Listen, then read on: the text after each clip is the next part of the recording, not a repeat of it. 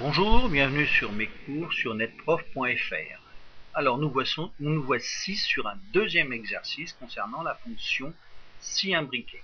Nous sommes dans une entreprise, hein, Aquarium 89, qui va décider de calculer une ristourne annuelle accordée à ses clients. Elle vous donne les paramètres.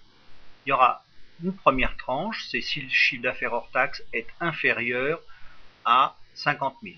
Alors, pas de ristourne le chiffre d'affaires est trop bas. Deuxième tranche, ce chiffre d'affaires est compris entre 50 et 100 000, on accordera une ristourne de 2%. Et la troisième tranche, si le chiffre d'affaires est supérieur à 100 000, on accordera une ristourne de 3%. Euh, Petit rappel, le calcul d'une ristourne se fait en cascade. Ça veut dire qu'à chaque fois que l'on passe dans une tranche, on accumule de l'argent. Deuxième élément, c'est un chiffre d'affaires lié à des poissons exotiques, donc à partir de là, on sait que le taux de TVA sur le vision est de 5,5. Je vous donne un tableau hein, dans lequel on a un certain nombre de clients avec leur chiffre d'affaires TTC. Je vais supprimer rapidement voilà, la colonne chiffre d'affaires hors taxe que vous aurez à la recalculer, et puis la ristourne, hein, ben on la verra après. Hein, donc là, euh, je la supprime aussi. Donc, vous avez vu que j'ai indiqué des couleurs. Hein. Notre première tranche, je le rappelle, en fonction 6 sera celle qui va euh, nous permettre notre première euh, question. La troisième tranche nous permettra notre deuxième question. Et bien entendu, par logique, l'ordinateur déterminera hein, la, tranche du milieu. Alors, je vous laisse euh, à vos ordinateurs pour travailler ce petit exercice et je vous retrouve d'ici quelques temps.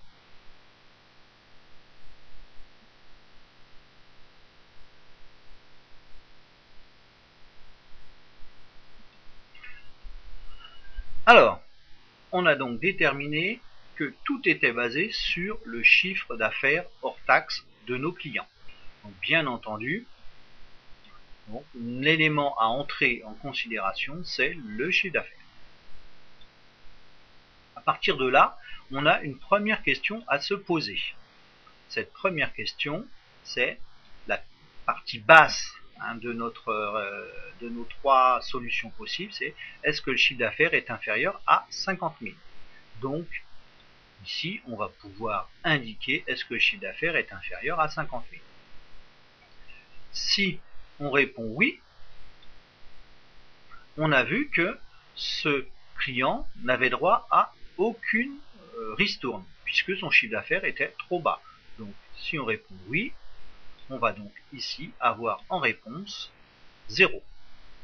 Hein, est-ce que le chiffre d'affaires est, est inférieur à 50 000 Oui, pas de ristourne.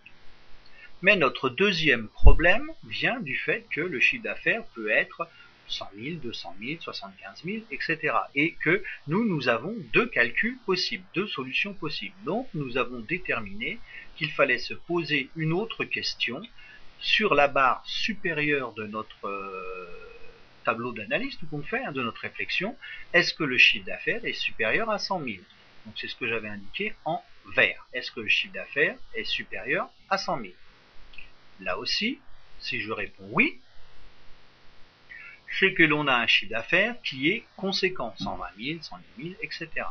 Et que l'on va devoir donc calculer sa ristourne. Alors, le calcul de la ristourne, vous allez le faire apparaître et on va le travailler ensemble, le regarder ensemble.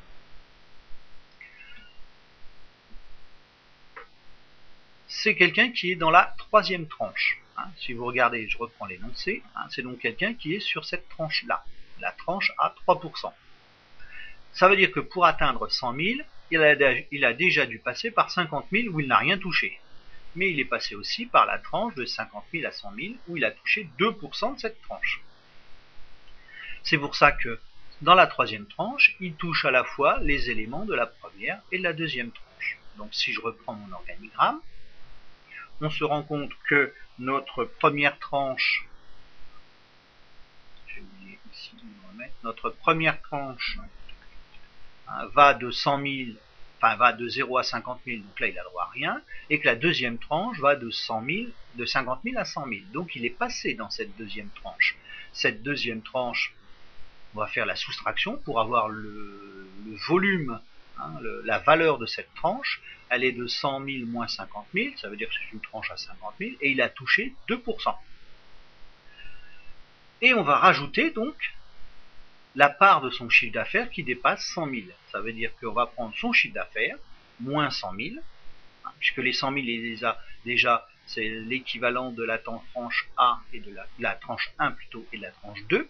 Hein, donc on va faire chiffre d'affaires moins 100 000 et là il touche 3%.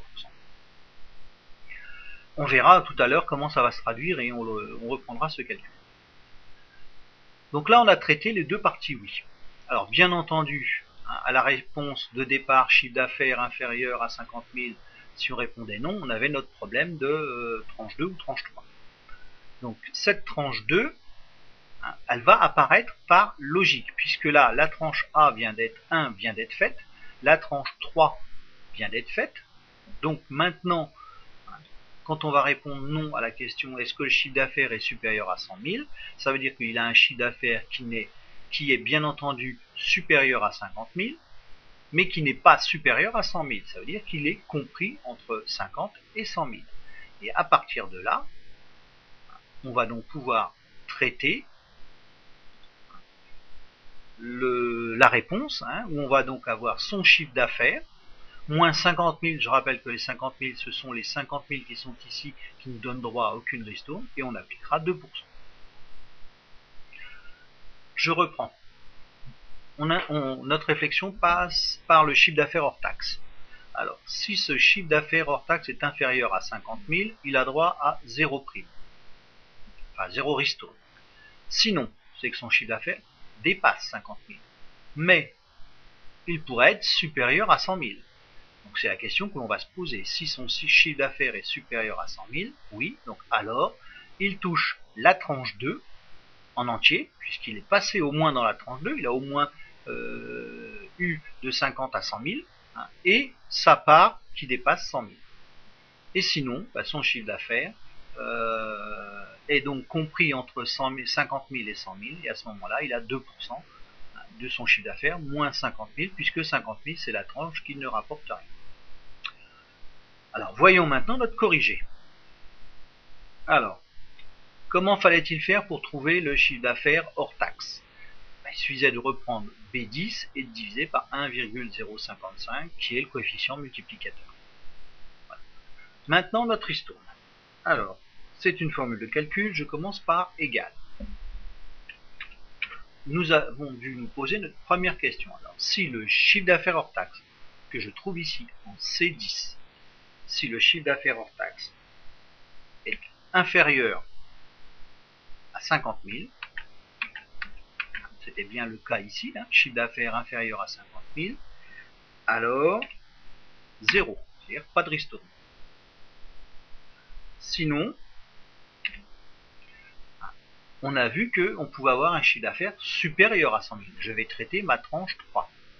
Sinon, chiffre d'affaires supérieur à 100 000. Donc, je repose une question. Si chiffre d'affaires supérieur 100 000. Alors, et c'est là où il faut faire attention, donc on a déterminé qu'il était passé dans la tranche 2, puisqu'on est dans la tranche 3 là.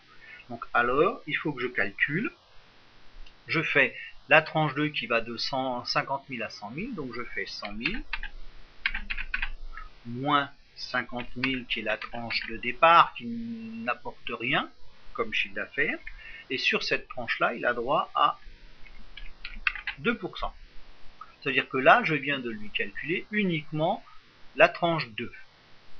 À ce chiffre-là, il faut que je rajoute, hein, donc je vais faire plus, hein, je vais rajouter la tranche 3, c'est-à-dire c'est son chiffre d'affaires, donc je vous une parenthèse, son chiffre d'affaires hors taxe, donc ça, moins 100 000 puisque c'est ce qui va dépasser 100 000, je ferme ma parenthèse, et là il a droit à 3%. Mais je n'ai pas terminé. Là, je viens de traiter ma tranche 1 ici.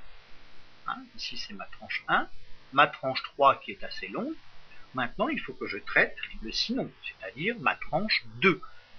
Je ne vais pas remettre ainsi, tout simplement parce qu'en toute logique, il sait que je traite la tranche du milieu qui est donc de, 100 à, de 50 000 à 100 000.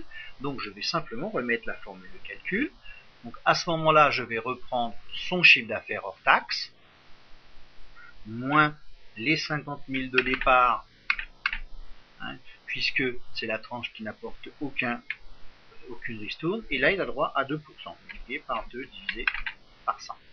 Je ferme ma parenthèse une fois, hein, parce que c'est la parenthèse d'ici, et deux fois. Je valide, et je me rends compte ici que ben, j'ai une ristourne de 2000 euros. Alors, Bien entendu, ce qui serait intéressant, ce serait que vous le recalculiez à la main, histoire de vérifier hein, que tout est correct. On va voir que pour certains, on n'aura pas trop de soucis. Donc je descends, je recopie vers le bas. Voyons déjà, mettons les, euh, Gracien Tona, qui lui avait un chiffre d'affaires inférieur à 50 000. Donc on voit bien qu'il a 0 comme marchand. Ces deux-là ont 0. Maintenant, prenons Imelo. Il a 67 000 euros. 67 000 euros, ça veut dire qu'il est dans la tranche 2. Et on lui donne une ristourne que sur ce qui dépasse 50 000. Donc, si je prends 2% de 17 000, 2 fois 17, ça fait 34, euh, donc vous voyez, 350 euros, on est bon.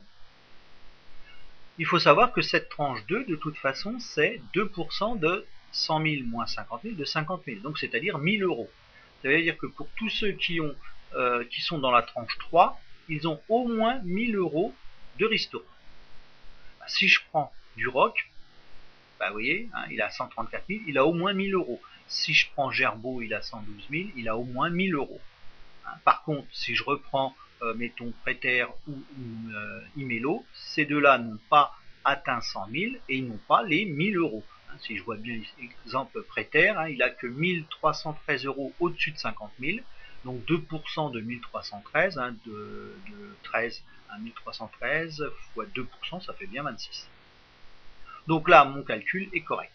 Il me reste, hein, chose petite euh, chose, à totaliser, donc je vais faire égal somme, et je mets en évidence tout ce que je veux additionner, je ferme ma parenthèse, alors j'aurais pu faire autrement, hein, puisqu'on a le signe ici sigma, hein, qui permet de calculer, hein, euh, ça revient au même, et j'ai recopié vers la droite, avec le petit papier cadeau là, comme je l'appelle, pour aller jusqu'au bout.